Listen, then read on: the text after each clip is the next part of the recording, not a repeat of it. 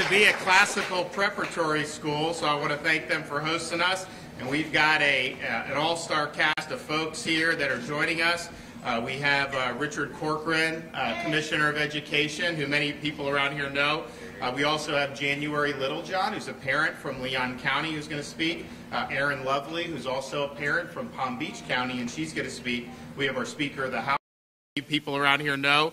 Uh, we also have January Littlejohn, who's a parent from Leon County, who's going to speak. Uh, Erin Lovely, who's also a parent from Palm Beach County, and she's going to speak. We have our Speaker of the House, Chris Sprowls, uh, from nearby. We have Senators uh, Kelli Stargel and Dennis Baxley, so I want to thank them for coming. We have Representative Joe Harding. We have Representative and future Senator Blaise Ingoglia. We have Representatives Byrd, Beltran, Grall, uh, and Maggard. And not, last but not least, we have Senator Danny Burgess. So I want to thank all of them for coming here with us. So, as many of you know, I think the last couple years have really revealed uh, to parents uh, that uh, they are being ignored increasingly across our country when it comes to their kids' education. Uh, we have seen uh, curriculum embedded uh, for very, very young children, uh, classroom materials about sexuality and woke gender ideology. We've seen libraries that have clearly inappropriate pornographic materials for, for very young kids. and we've seen services that were given to students without the consent or even knowledge of their parents across the country. And we, unfortunately, that's happened here in the state of Florida. You're going to hear from some parents uh, where that has happened. Now, in Florida, we found at least six school districts that had policies regarding their child's well being and to shield them from knowing about various forms of mental health services Broward, Hillsborough, Miami Dade, Palm Beach, Sarasota, and Volusia counties. Martin County also had a gender transition plan that can be implemented without the parents' consent. In Leon County, Florida, a school excluded parents from conversations about a student's, quote, gender transition, a situation for which the district superintendent has apologized for and admit that should never have occurred. And it's not just limited to Florida. In fact, it's probably a lot worse in many other parts of the country. In Idaho, a counselor was working with a 10 year old student to help the student transition to a different gender without informing the child's parents. In California, a mother has filed a legal case alleging two middle school teachers manipulated her child's identity, then called the meeting to inform her, the parent, that the student is transgender.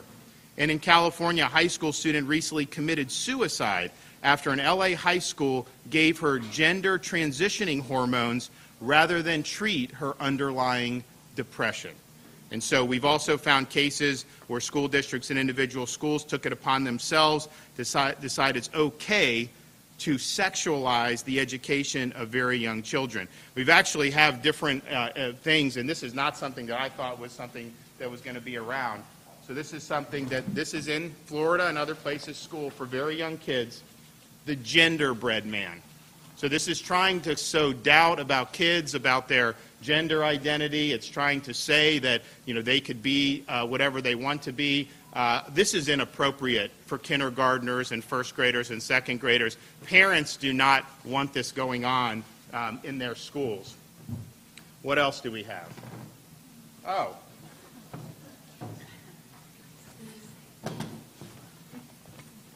This is, again, very young kids talking about when I, I, was born, mom and dad said it's a girl, looked in the mirror, I saw a girl, kind of.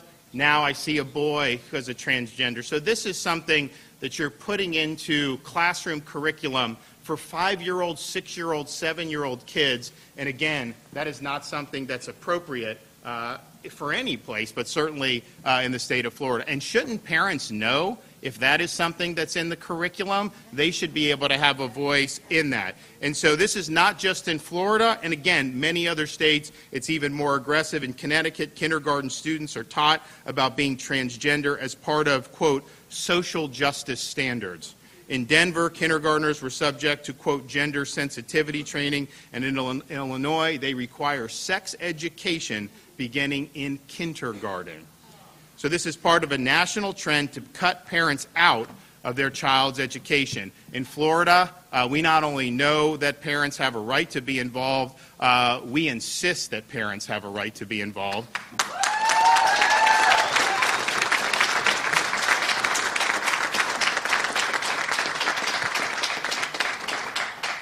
And so we've already taken uh, great steps. Last year, I signed the Parents' Bill of Rights in the state of Florida, which was really something that was significant. Last week, we signed curriculum transparency legislation so that parents have a right to access the curriculum that's in their kids' schools as well as understand what type of books are in school libraries. And today we will sign HB 1557, the Parents' Rights in Education Bill. And this bill takes three main steps. First, the bill prohibits classroom instruction about sexuality or things like transgender in K through 3 classrooms and after third grade, those curriculums need to be age appropriate. Second, the bill ensures that at the beginning of every school year, parents will be notified about health care services offered at the school with the right to decline any service offered.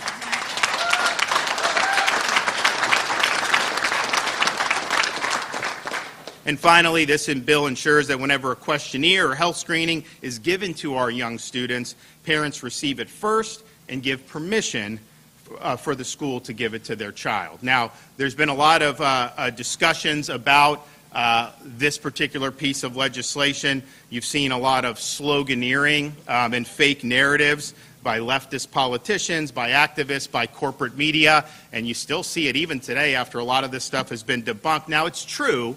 Many of the people who help, who whip this up have never actually read the bill.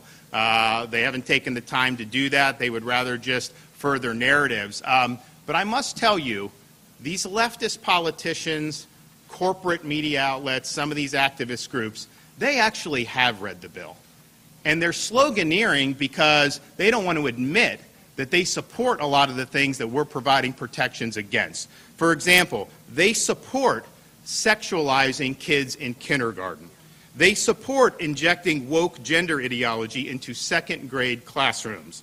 They support enabling schools to, quote, transition students to a, quote, different gender without the knowledge of the parent, much less without the parent's consent. And so, what they're doing with these slogans and these narratives is they are trying to camouflage their true intentions. They know, in every single poll that's been done that actually reads the language in the bill, will find overwhelmingly Americans oppose injecting this type of material into the classroom of young kids. Americans support the right of parents to be informed and to be able to withhold consent over certain types of medical um, uh, treatments in, in school. So they know that, and so that's why they're resorting uh, to some of the narratives. And it hasn't worked, but let's just be clear it's not just all of them have not read the bill, many have not. Many have and many of them want to see this type of stuff in our schools. So be very, very careful when you see that. And I was, someone told me that there's even people in Hollywood that are that are opposed, um, you know, to, to, to providing protections for parents and enforcing parents' rights. You know, the one thing I'll say about that is, if the people who held up degenerates like Harvey Weinstein up as exemplars and as heroes and as all that, if those are the types of people that are opposing us on parents' rights, I wear that like a badge of honor.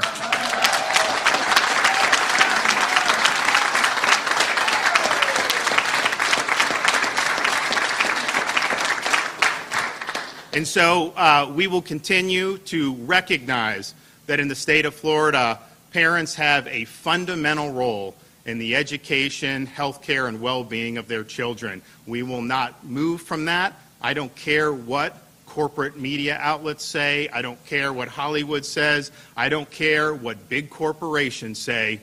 Here I stand. I'm not backing down.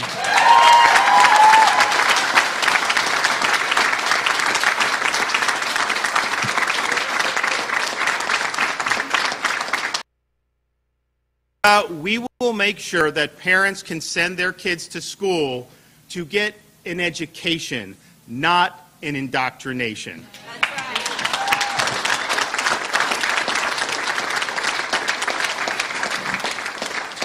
And so I'm happy to be here today. We'll sign this in a minute, but in the meantime, we're going to have some speakers come up. And so the first speaker will be the Speaker of the House, Chris Sprowls. Thank you, Governor. It's great to be with you and all the members of the legislature that are here today. You know, there's a lot of nicknames when you have governors. This governor has worked on education policies, worked on workforce, so much policy in the state of Florida. But I'm going to add another nickname. This is the boldest governor in America for Florida families, for Florida parents, and for Florida children.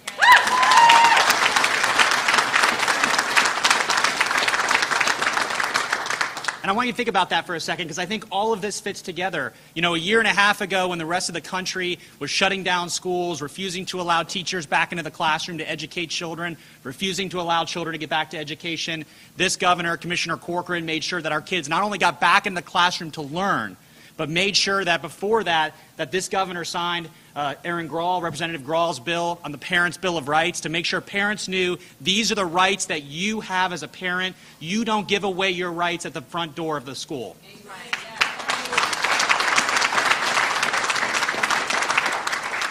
And that continued into this session. This is the session of Florida parents, of Florida families. You know, one of the upsides of COVID is that I don't think that's ever before in our country have parents been more engaged in what their kids are learning inside the classroom and more sensitive to the books that are in the library, to the instruction that's happening, and how that impacts their children. This session with this bill, uh, I have to give a, a, big, a big shout out to Representative Joe Harding, Senator Baxley, who all session long, all session long, took the hits and the lies perpetrated in places like corporate media and Twitter and pushed back because they had one goal in mind, and that was to prevent little children, five and six year olds, from walking into a classroom and being indoctrinated on radical concepts like, like extreme gender ideology. So I want to thank both of you gentlemen for fighting that fight.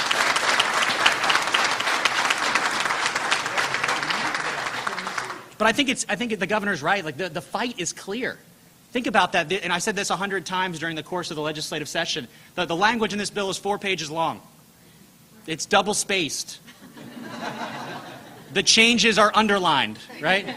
If the teachers who had their kids redraft, you know, concepts that are here said, oh gosh, it's going to be double spaced and underlined, that's going to make the day really easy. This was super easy to figure out what this bill did. And yet, people lied about it.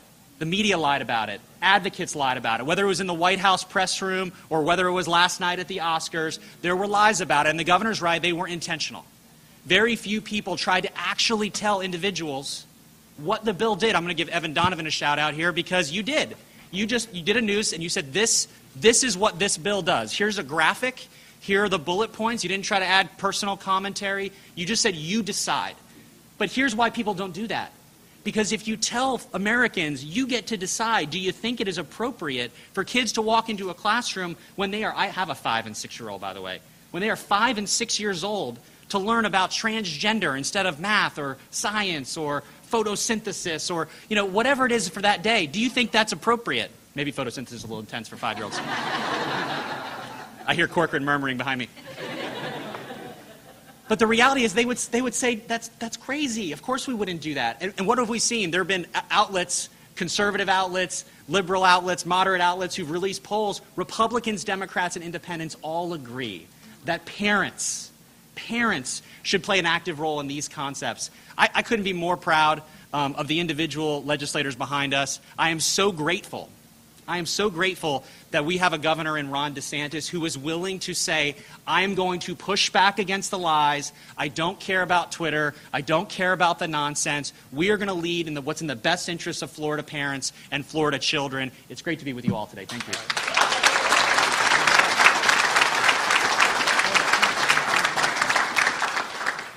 Okay, and so next, I mean, this is really what it's all about uh, to protect these parents. So first, we're going to hear from January Littlejohn.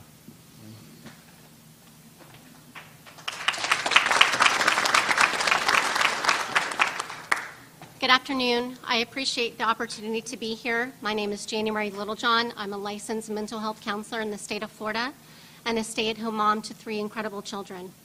I want to first thank Representative Harding and Senator Baxley for sponsoring this bill.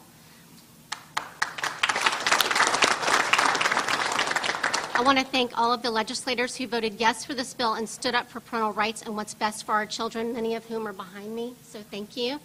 And I want to also thank Governor DeSantis, who has been steadfast in both his leadership and his unwavering support for parental rights in our great state.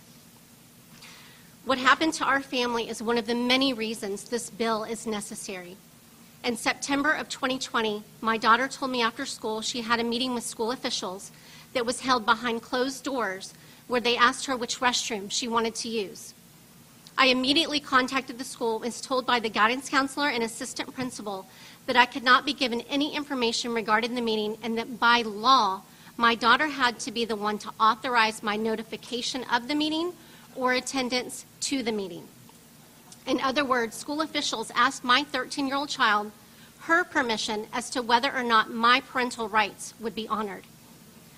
After many weeks of going back and forth with the district, we learned the middle school had created a transgender, gender nonconforming support plan with our 13 year old daughter without our knowledge or consent.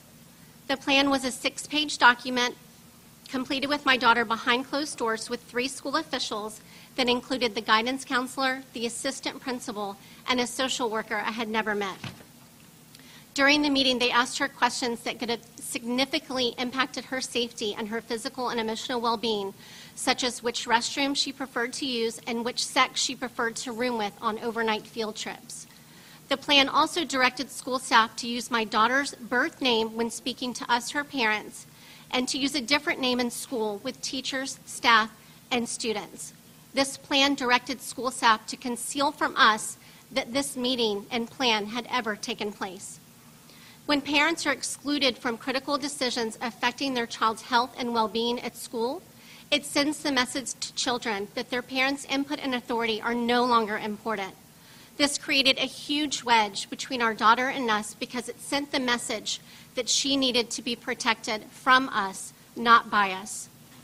Social transition is a medical and mental health intervention that can lead to significant decisions that will impact the child's mental and physical well being.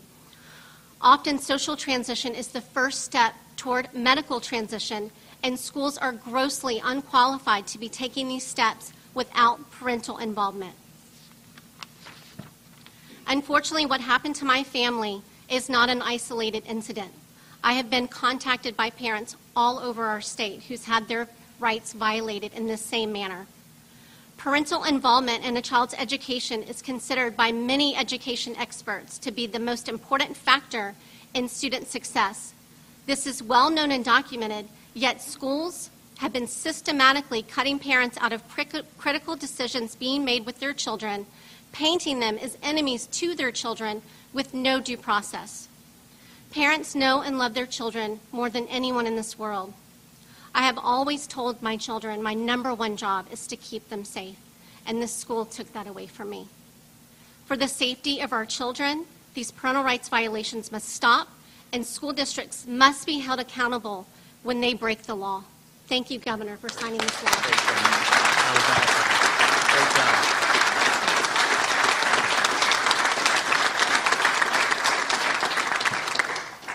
And just so you know, the left, they want that to happen to all other families. They don't want any protections for parents. They think that they should just be able to take your kid and do whatever what the hell they want with them. That is wrong. And she was right to stand up against the school district. And now every parent's going to have the right to do that. Okay, Aaron Lovely.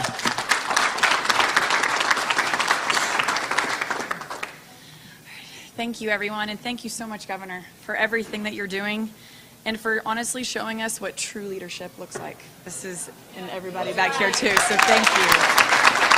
Um, we're originally from Tennessee. I don't know if you can hear the slang. We're originally from Tennessee, but we moved to Florida eight years ago, and I could not be more proud to live in this state, honestly.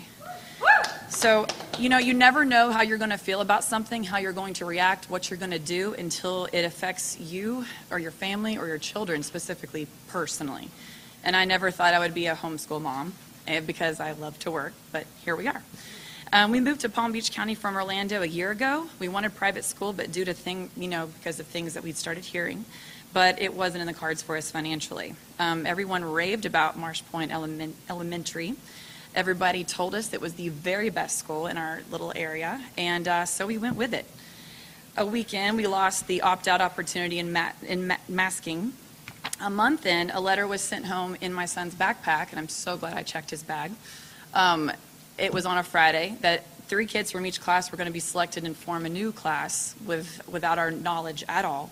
There was no de- details, no info whatsoever, no bio given, no meeting, no photo, and the parents aren't even allowed in, in the school. We were just supposed to be okay with, you know, sending our kid to a stranger. Um, he had already made friends, so we prayed hard over this and trusted God would take care of him. He always does, just not how you would think sometimes. I'm a positive thinker, so we just went. We just went with it. We quickly started hearing questionable things. Uh, parents were being called bullies because we were emailing her too much, and I'm like, we had a lot of questions, so yes, we were emailing her a lot. And my son's behavior started to change a little bit. Um, he was very frustrated with me, more so than normal. Um, later, other things came up, disturbing things about medical choices that I think should be between the fa- family. The kids were given extra credit if they made these medical choices. Um, second grade, mind you. Yes. But here's where I drew the line. Um, Thanksgiving morning, he chose to tell me on Thanksgiving. We were sitting there, and he tells me a, book about a book that she had read to the class called Call Me Max. It's this one here. Um, if you've read the book at all, uh, I could cry thinking about it. Um, there was no permission slip given, no heads up, and hey, how do you feel about this? Nothing. There was a there was somebody next door that gave a permission slip out to parents for James and the Giant Peach. And I'm like, what about what about that one? Um, after she finished the book, so he had to sit there and listen to the whole thing. Um, after she finished the book, he raised his hand and he said, "No, this isn't right. This is not who God made you to be." And uh, she disagreed with him and said, No, you can be whatever you want to be if you just have an imagination. And so I'm like, Well, yeah, you know, you can be a doctor, a lawyer, president, but God doesn't make mistakes, and He didn't make a mistake when He made you. Um, so under this under this bill, which again, obviously, most people have not read it. I don't. I don't think a lot of people have. Um, it just it protects the fundamental rights of parents to make choices regarding the upbringing and the control of their chil- children. It prohibits school districts from doing what happened in ours and prohibits classroom discussion about sexual orientation and gender identity in a second grade classroom. So, needless to say, um, we never went back. We never went back to that class. He was moved to a third per- person at this point. Um, we had, had we had to switch him. I was like, he's not going back, but it was not an easy choice. It was not an easy process. The principal was not easy to work with in this. Um, but people have asked, why couldn't we have stayed in that class? And the simple answer is, when I talked to the principal about it, he said that these books, meaning there's more than just that one, are a district requirement to be in the public schools. So they have the choice to read them or not, but it's a district requirement. Um, so I was like, I just, I don't want him around that without the, the wherewithal, without the knowledge as a parent. This school and how they handle things uh, completely shattered my trust. And so I'm hoping with this new bill that things can change for all those sweet babies that aren't babies, that aren't telling their parents, that aren't speaking up. Um, so I'm beyond thankful for the opportunity to be a homeschool mom. It's crazy, but I'm thankful. And I'm hoping that this can help for the, for the parents that don't have the choice. So Thank you so much.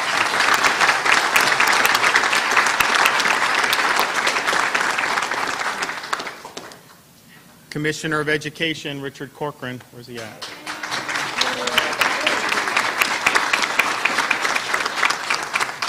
Thanks, Governor. I feel a little pressure speaking after these great speakers, and and I don't have photosynthesis in my remarks, so they dro- dropped that bomb on me. But um, I think it's appropriate that we do this bill signing in a classical school. And if you look at what the classical model is, it goes back to the ancient Greek, um, and you talk about truth and goodness and beauty. And you're in a library, you know, where you know Mark Twain used to say, the person who doesn't read books has no advantage of those uh, that don't or illiterate. Um, and if you look around the room, you see this just lined with great people throughout history, great thinkers, great philosophers, all in pursuit of truth. And what really is at stake, you've heard it from the governor, you've heard it from the speaker, you've heard it from these speakers, is it is a war on the existence of truth. What they're really trying to do, it's not just have debates and have people discuss whether you're on this side or that side, it is a war on whether truth really exists. And I also want to say at this point that how did I get to be the speaker when you bring in a bunch of cute kids? I mean, I'm drawing some li- little small straws today. one of them's mine. I won't tell you which one. She's over there. Can you stand for a sec? oh, yeah. Is that your youngest? Yeah. But now that they're in the room, we've got this bill signed. I just want to close with this. You've heard it said many times. I've worked for this governor for four years almost. Um, and I will tell you, he's not a good governor. Um, he's not a great governor. He's the best governor ever.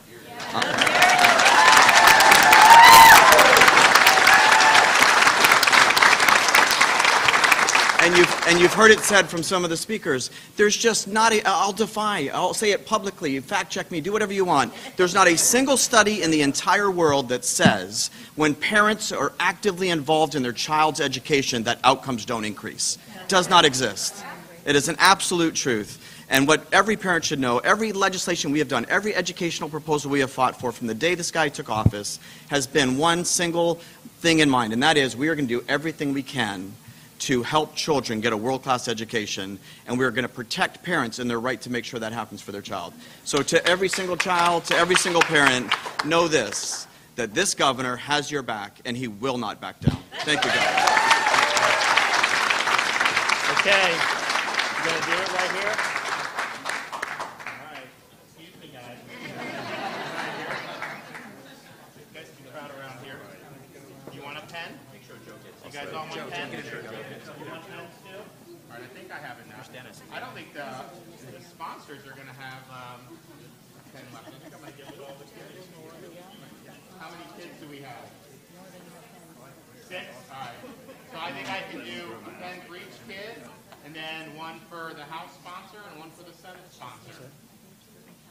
All right, here we go. Today is the 28th.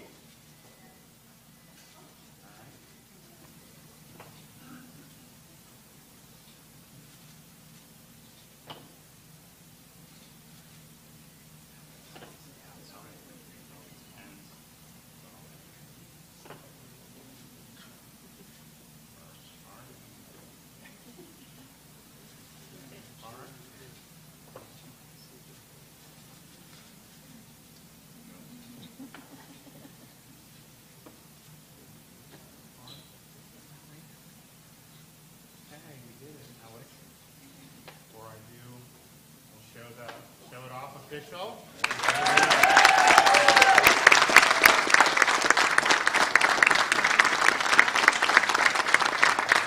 All right. Let me see. You want one? You want one? You want one? You want one?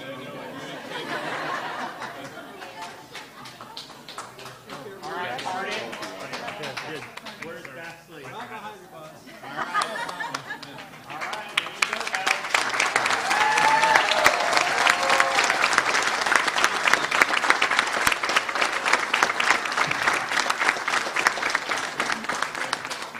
Good stuff. Okay. Anybody?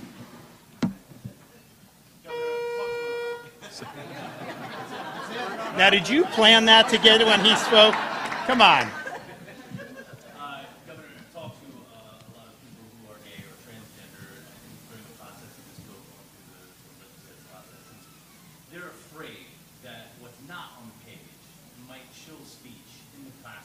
About people like them or, or teachers who maybe are, are gay and those topics come up about what your family looks like, they're afraid. Can you talk to them and just assuage their fears?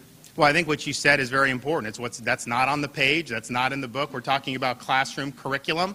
Um, there are different uh, issues that will come up in the course. Kids will have questions on as they get older. I think honestly, these kids probably aren't at that stage yet, uh, but as you do, uh, and so it's focused on the type of curriculum that we've shown here, which is not appropriate for these young kids. And it also says all all grades it needs to be age appropriate, which I think most people agree with. And then the protections for parents so that they're involved in what is going on with their kids. And when you listen to January tell her story about what they did with her with her child without her knowledge or consent, uh, I don't think there's very many parents in the state of Florida that think that's okay.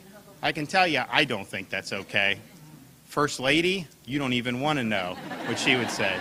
So, so that's what it's about. It's about protecting parents' ability to be involved, and it's making sure that the classroom instruction, particularly at these very young age, are focused on math, science, and reading. And um, what's not on the page is not what's going to be done. We are uh, uh, textualists, so we follow the law, and I know Richard will make sure uh, that the Department of Education is going to follow the, the letter of the law, and that's how it should be. Yes, sir. Richard, you want to you want to talk about that because I know you guys in the school bo- school boards and they have different. And if you look at the language, it allows us to. Yep. If you, if you read the last part of the bill, it gives the department, um, to, once this bill is signed, now we can go and, whether it's the standards, whether it's the curriculum, whether it's the professional development, work it out so that people have that clear understanding. And I think if you talk to teachers, Jeff, you'll find that teachers are supportive of, they want guardrails. Where, where it's frustrating for a teacher is someone to say, hey, you're in trouble, you crossed the line, and nobody said the line was there. What this does is set clear guardrails, and, and I'll quote Justice O'Connor, you know, uh, I mean, age appropriate, I think people know what age appropriate is. Um, we wouldn't be here um, having this discussion if, if generally speaking, there, there wasn't a, a real issue or a real problem. I mean, they're, they're perfect examples. And so I think it's a, it's a great bill. It's a great opportunity for the department to make clear uh, guidelines and guardrails for the teachers, and I think the teachers will be happy with that. No, it, well, you, what, what do you see That, happening? that was here in Palm Beach. I mean, that's Yeah. That's in, found in Florida when you have the genderbread man, and um, I think the Palm Beach, as you said, for second grade, they were saying it. And I think that's what a good point, Richard, with the teachers. People that go in to teach kindergarten do not want to be uh, teaching this as part of the curriculum. They want to focus on things that are core academic subjects and then obviously are age appropriate. I think the, the danger in how this has gotten in is not because most teachers want it to be. I think it's because these are directives from on high, from the bureaucracy, or from very politicized members of school boards. And I think that's what we've seen across the country. So most teachers just want to teach. They're not getting involved with, with very young kids to try to pursue um, some type of ideological agenda. They just want to do it. And, and that's so I think in some ways it's a parent's protection, but I also think it's a teacher protection because now teachers will be protected against someone from on high, whether in a bureaucracy or in a school board, telling them that they need to do genderbread man or telling them that they need to talk about things like transgender to a first or second grader. Um, let's focus on the core academic subjects. Those issues, particularly for that age, you know, that's something that parents can discuss or not as they deem appropriate. But that is not the right of a school district to supersede the parents' rights um, and inject things that the parents don't think are appropriate at those ages. Governor, what's the biggest misconception you that you're hearing people talk about this bill? That bothers you the most? Well, honestly, I mean, I think it's just the fact that, um, you know, they tried to sloganeer, they tried to create things that were not in the legislation, um, which that's politics. I mean, that's what happens. Uh, but they're doing it, I think many of these leftist politicians, they're doing it because they actually support having woke gender ideology in first grade. They support how January was treated by the school system there. They don't think parents should know. They think you should be able to have a school district that will gender transition somebody without even telling the parents or giving them the consent. So they've got to figure out a way to camouflage that policy position because that is not a policy position that is going to be terribly popular. So I think that they've gone through sloganeering and all these things really out of desperation because they know they could never argue their position on the merits. They would have to, uh, they, would crumble. I think under the weight of, uh, of outrage from parents if they were actually standing on the wall and saying that they support those things. And what I just say is, look, you know, stand up and say what you're for, okay? If what you're for is good, you should be willing to stand up there and sing it to the heavens and let the chips fall where they may. The fact that you don't, the fact that you're trying to concoct narratives and manufacture this stuff, you know, that just shows me that you know you're taking positions that are totally untenable. And so um, I'm not surprised. The funny thing was, was like, I mean, I think, Evan, you were of the first to ask me. I just started getting asked about it. I wasn't even following how they're doing the language and all this. And I start hearing these slogans, and I'm like, okay, I know it's BS, right?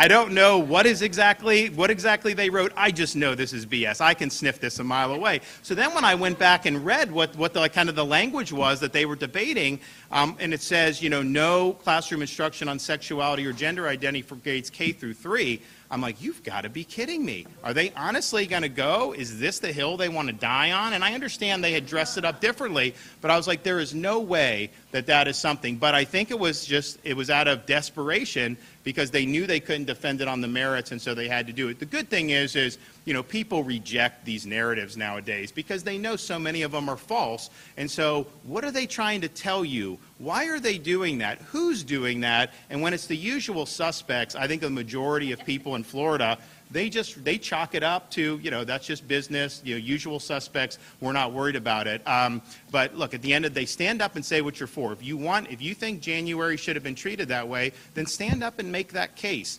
Um, i don't think very many people think that. If you think that someone a, a florida parent sending their kid to first grade should have the genderbread man in there talking about being a different gender as for a six year old kid or seven year old kid um, say that and try to make the case for it. But just be honest about where you're coming from on all this. And so uh, I just want to thank you guys for coming. Yeah, absolutely. we appreciate what you're doing. Thanks, everybody.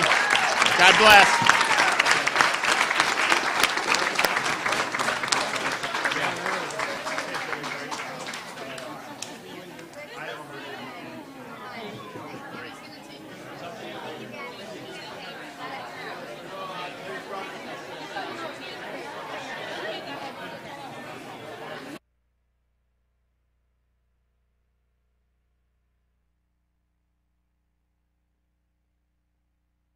You're watching the Florida Channel, connecting Florida.